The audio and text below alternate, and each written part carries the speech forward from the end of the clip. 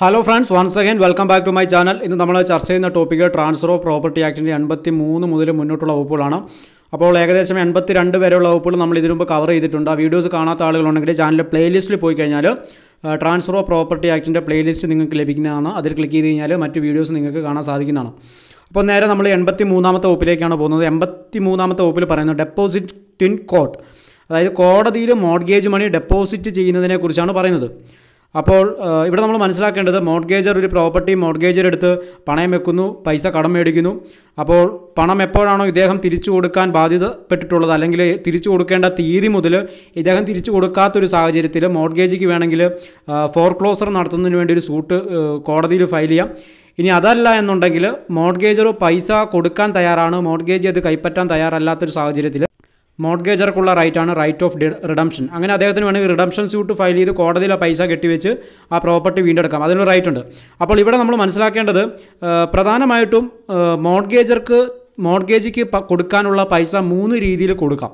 ഒന്നാമതായിട്ട് പറഞ്ഞു തരുന്നത് ഡയറക്റ്റ് ആയിട്ട് തന്നെ മോർഗേജിക്ക് ആ പൈസ നേരിട്ട് തന്നെ കയ്യിൽ കൊടുത്ത് പ്രോപ്പർട്ടി തിരികെ വാങ്ങാം. ഒന്നാമത്തെ ഓപ്ഷൻ രണ്ടാമത്തെ ഒരു ഓപ്ഷൻ എന്ന് പറഞ്ഞാൽ filing a suit for redemption ഒരു റിഡംഷൻ സ്യൂട്ട് കോടതിയിൽ ഫയൽ ചെയ്ത് കോടതി മുഖാന്തരം ഇടപെട്ടുകൊണ്ട് പ്രോപ്പർട്ടി തിരികെ വാങ്ങാം. അപ്പോൾ തീർച്ചയായും ഇദ്ദേഹം പൈസ അവിടെ കെട്ടിവെക്കേണ്ടതായിട്ടുണ്ട്.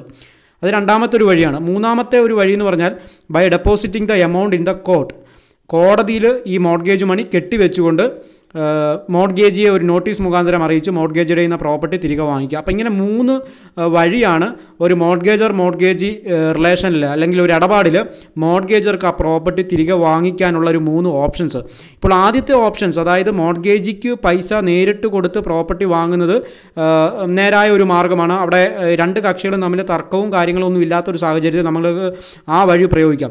ഇല്ലാത്തൊരു സാഹചര്യത്തിൽ ഏതെങ്കിലും ഒരു സ്ഥിതിയിൽ മോഡ്ഗേജറും മോഡ്ഗേജ് തമ്മിൽ തർക്കമുണ്ടാകും അല്ലെങ്കിൽ മോഡ്ഗേജ് നേരിട്ട് കോടതിയിൽ സമീപിക്കുന്നു. പറഞ്ഞ സമയത്ത് മോർഗേജർ പൈസ തരാൻ തയ്യാറാവാത്ത സാഹചര്യത്തിൽ മോർഗേജ് കോടതിയെ സമീപിക്കുന്നു. ഇങ്ങനെയൊക്കെ ഇവർ തമ്മിലൊരു തർക്കം ഉണ്ടാവുന്ന ഒരു സാഹചര്യത്തിലാണ് രണ്ടാമത്തെയും മൂന്നാമത്തെയും സാഹചര്യമായ ഈ ഈ ഒരു ഓപ്ഷൻ നമ്മൾ അപ്ലൈ ചെയ്തുകൊണ്ട് മോർഗേജർക്ക് അദ്ദേഹത്തിന്റെ വസ്തു തിരികെ മേടിക്കാനുള്ള റൈറ്റ് അപ്പോൾ ഈ എൺപത്തി മൂന്നാമത്തെ വകുപ്പിൽ കോടതിയിൽ നേരിട്ട് പൈസ കെട്ടിവെച്ചുകൊണ്ട് മോർഗേജ് ചെയ്ത പ്രോപ്പർട്ടി തിരികെ കിട്ടുന്നതിനുള്ളൊരു സാധ്യതയാണ് നമുക്കിവിടെ കാണിച്ചിരുന്നത്. അപ്പോൾ റൈറ്റ് ടു റിഡംഷൻ നമ്മൾ നേരത്തെ നോക്കിയതാണ്. മോഡ്ഗേജയുടെ ഒരു പ്രധാനപ്പെട്ട റൈറ്റാണ് റൈറ്റ് ടു റിഡംഷൻ അത് നേരത്തെ തന്നെ അറുപതാമത്തെ ഓപ്പിൽ നമ്മൾ വളരെ വിശദമായിട്ട് തന്നെ ചർച്ച ചെയ്തതാണ്.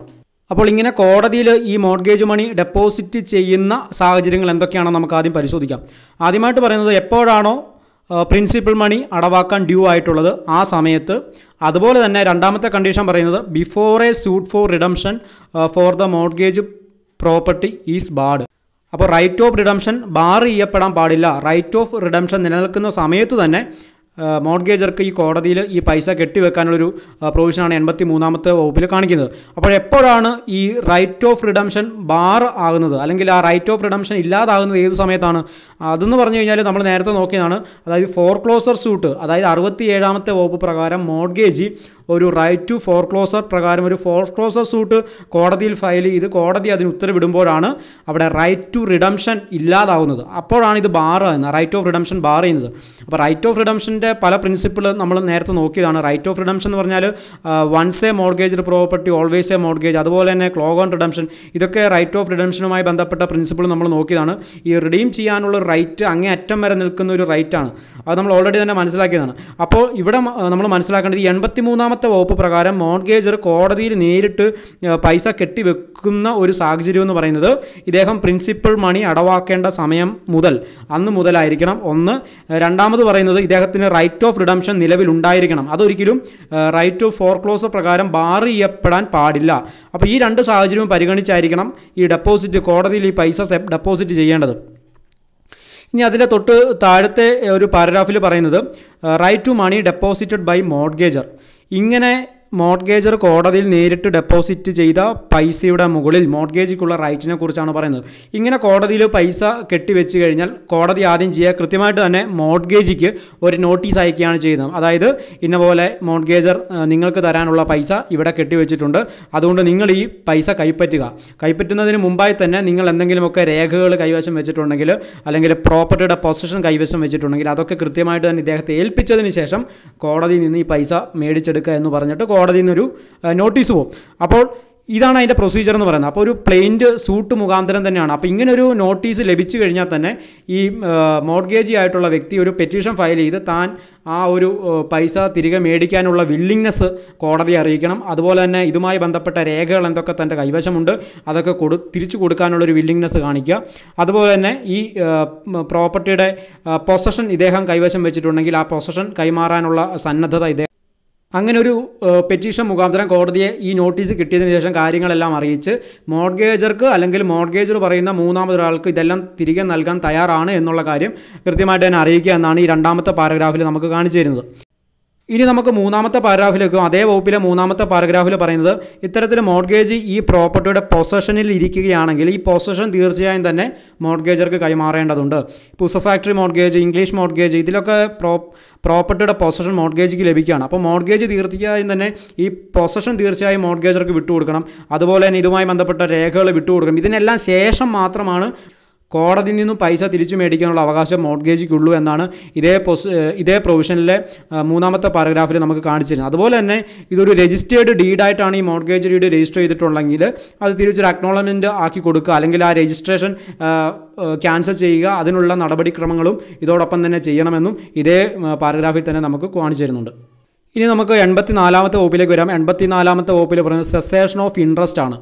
ഇൻട്രസ്റ്റ് കാൽക്കുലേറ്റ് ചെയ്യുന്നതിൽ ചില റെസ്ട്രിക്ഷൻസ് ആണ് ഇവിടെ ഏർപ്പെടുത്തുന്നത്. അതായത് നമ്മൾ എൺപത്തി മൂന്നാമത്തെ വകുപ്പിൽ നോക്കിയ പ്രകാരം മോർഗേജർ എപ്പോഴാണോ താൻ കൊടുക്കാനുള്ള പൈസ പലിശ അടക്കം കോടതിയിൽ കെട്ടിവെക്കുന്നത്. കെട്ടിവെച്ചിട്ടേ ഉള്ളൂ അത് തിരിച്ചും മോർഗേജിന്റെ കയ്യിൽ കിട്ടിയിട്ടില്ല.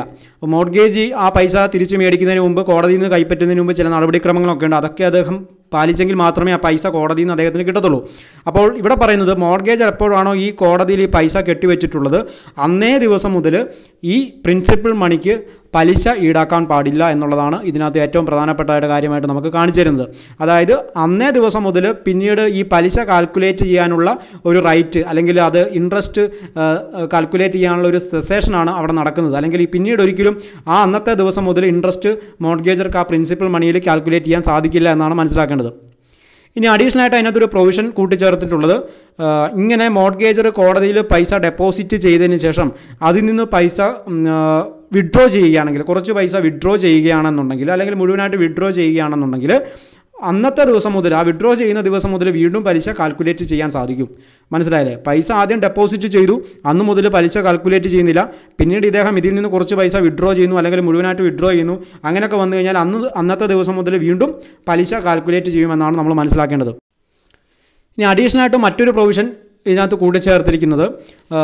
മോഡ്ഗേജറും മോഡ്ഗേജും തമ്മിൽ ഇങ്ങനെ ഒരു കരാറുണ്ട്. ഏതെങ്കിലും ഒരു സാഹചര്യത്തിൽ മോഡ്ഗേജർ താൻ കൊടുക്കാനുള്ള പൈസ തിരികെ കൊടുക്കാനായിട്ട് കോടതിയെയോ അല്ലെങ്കിൽ നേരിട്ടോ കൊടുക്കുന്നതിന് മുമ്പ് കൃത്യമായിട്ട് ഒരു നോട്ടീസ് മോഡ്ഗേജിക്ക് ലഭിച്ചിരിക്കണം. അത് മോഡ്ഗേജ് അറിയണം എന്നുള്ള എന്നുള്ളൊരു കൃത്യമായിട്ടൊരു പ്രൊവിഷൻ ഇതിനകത്ത് ഉണ്ട് എന്നുണ്ടെങ്കിൽ ആ നോട്ടീസ് കൊടുക്കാതെയാണ് ഇത്തരത്തിൽ മോഡ്ഗേജർ പൈസ കൊണ്ട് കെട്ടിവെച്ചിട്ടുള്ളത് എന്നുണ്ടെങ്കിൽ ആ ഒരു സാഹചര്യത്തിലും ഇൻട്രസ്റ്റ് കാൽക്കുലേറ്റ് ചെയ്യുന്നതിന് തടസ്സമില്ല. അപ്പോൾ നോട്ടീസ് മസ്റ്റായിട്ട് മോഡ്ഗേജിക്ക് ലഭിക്കണം എന്നൊരു കരാർ പ്രകാരം കണ്ടീഷൻ ഇവർ കൂട്ടിച്ചേർത്തിട്ടുണ്ടെങ്കിൽ കൃത്യമായിട്ട് തന്നെ മോഡ്ഗേജിക്ക് നോട്ടീസ് കിട്ടണം. എങ്കിൽ മാത്രമേ നോ മോഡ്ഗേജിക്ക് അറിയാൻ സാധിക്കുകയുള്ളൂ. മോഡ്ഗേജർ ഇതുപോലെ പൈസ ഇവിടെ ഡെപ്പോസിറ്റ് ചെയ്തിട്ടുണ്ട് എന്നുള്ള കാര്യം. ഇതറിയാത്ത സാഹചര്യത്തിൽ ഇങ്ങനൊരു കരാറിൽ ഇങ്ങനൊരു ക്ലോസ് ഉള്ളിടത്തോളം കാലം അതിന്മേൽ പലിശ കൂട്ട് കണക്ക് കൂട്ടുന്നതിന് തടസ്സമില്ലെന്നും അഡീഷണൽ ആയിട്ടൊരു പ്രൊവിഷൻ ഇവിടെ കൂട്ടിച്ചേർത്തിട്ടുണ്ട്. അപ്പോൾ ഇത്രയും കാര്യങ്ങളാണ് എൺപത്തി നാലാമത്തെ വകുപ്പിൽ പറയുന്നത്. ബാക്കി വകുപ്പുകൾ നമ്മൾ അടുത്ത വീഡിയോസിൽ ചർച്ച ചെയ്യുന്നതായിരിക്കും.